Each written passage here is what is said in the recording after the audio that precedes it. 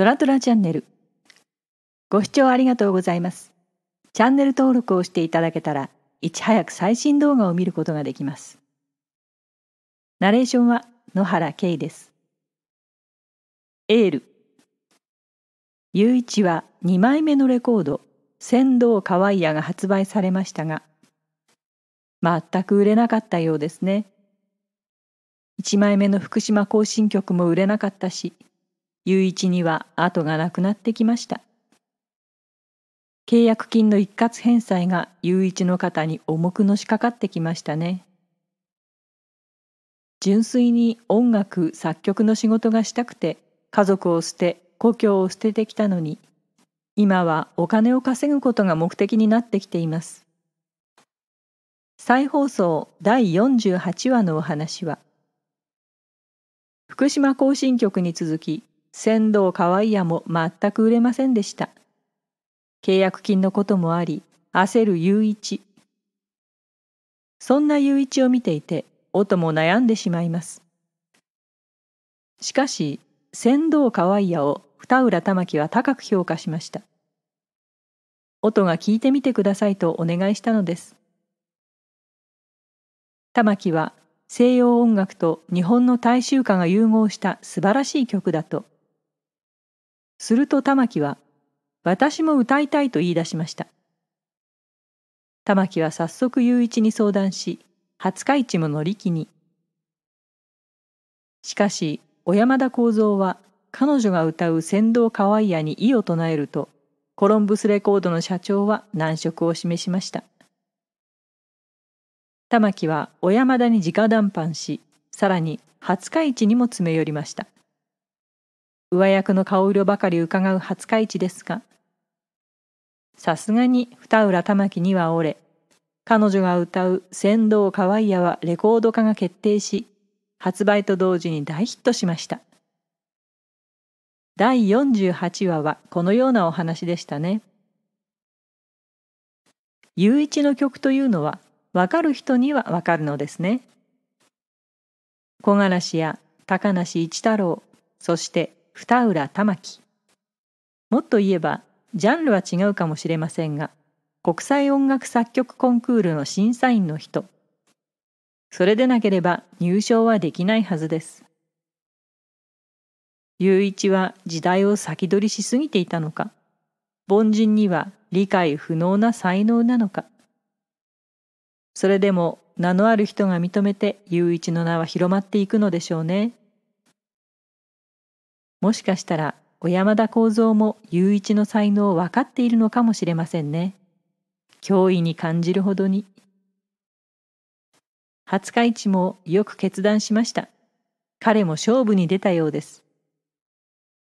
ディレクターといえど一般のサラリーマンとそれほど変わらないと思うので、上司に、それも会社社長に逆らったことは自分の身体も欠けたのでしょう。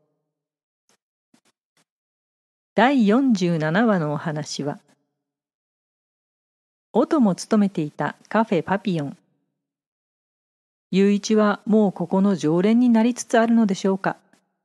店の雰囲気にも慣れたようです。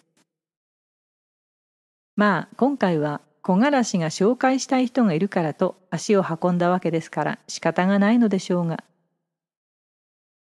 現在でも仕事の接待などでキャバクラなどを利用するようなのでこの時代にカフェを利用して仕事の話を進めることは普通だったのかもしれませんね。高梨一太郎は雄一が作曲した福島行進曲が素晴らしいと言っていました。このような人たちは廿日市とは違い、売れるからいい曲、売れないから悪い曲との判断はしないのですね。自分の感性で良し悪しを決める。だから、売れている作曲家、売れていない作曲家、相手が誰であろうといいものはいい、そんな感じです。高梨一太郎のモデルとなった人は、高橋菊太郎さんという作詞家で、ドラマにもよく登場する、酒は涙かため息かを作詞した方です。雄一は船頭かわいやの詩を見た途端、目が輝き、それから家で音が持ってきたお菓子にも目もくれず作曲していました。副音声の梅ちゃんも、すごい集中力、雄一さんの尊敬できるとこだわ、と言っていましたね。同じく作家として将来を切望している梅ちゃんにとってはとても勉強になるでしょう。そして書き上げた曲を早速廿日市に見せに行くと、高梨一太郎の名前を見た瞬間に即採用。何なんでしょうね、この人は。秘書の杉山茜も素晴らしい曲ですと。杉山の方は本当にいいと思っているのかちょっとわかりませんが、とにかく雄一にとってコロンブスレコードで2曲目のレコードです。ほっとした雄一に廿日市が宣告していました。君、これが売れなかったら終わりだから。と。天国から地獄というのはこのことを言うのでしょう。立ち去ろうとする廿日市に、雄一は、ちょっと待って、と言おうとすると、廿日市は、待ったから、二年も待ったから、仏の顔も何とやらだ。と、杉山も、三度です。まあ確かに2年も利益を上げていない社員を抱えるというのは会社にとって不利益にしかならないでしょう。掃除や雑用だけをやらす方が何百倍も会社のためになりますから。しかし、廿日市は、雄一の曲が売れるためのマネジメントをやってきたのか？営業の責任はないのか？どんなにいいものでもマーケティングが良くなければなかなか売れないとも思いますが、全部雄一の責任にするのはひどい話です。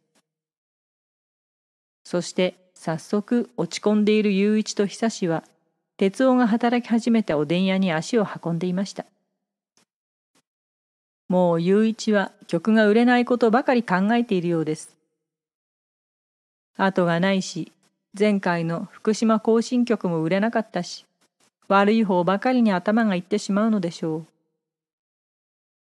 それでもサンバガラスはお祝いの乾杯をしようとすると、雄一が歌うのは芸者さんだと。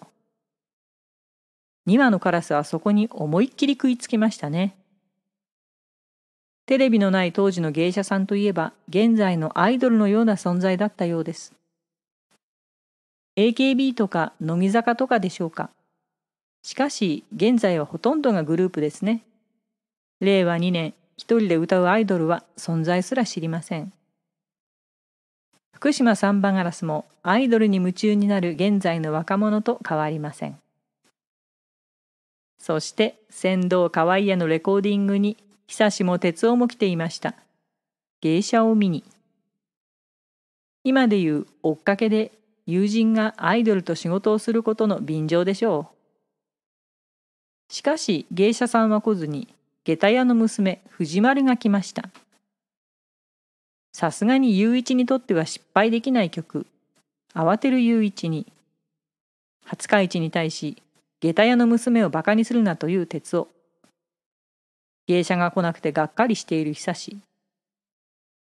そんな中、藤丸が歌い出すと、みんな驚いていましたね。想像をはるかに超える歌声。藤丸、とても歌がうまいです。演じるのは井上のぞみさんという劇団四季に所属されていた方です。これは売れる希望が出てきたのですが、しかし、さっぱり売れなかったようですね。雄一はなぜか腕立て伏せをしていました。もう本格的に後がなくなった雄一です。一方の音、記念公演の稽古はなかなかうまくいかないようですね。音のところで稽古は中断するようです。他の出演者の人も全然進まないと言っていました。音の方も行き詰まっているのですが、二浦玉木からいいアドバイスをもらい、頑張っていけそうです。最後までご視聴いただきありがとうございました。ご意見、ご感想など気軽にコメントしていただけると嬉しいです。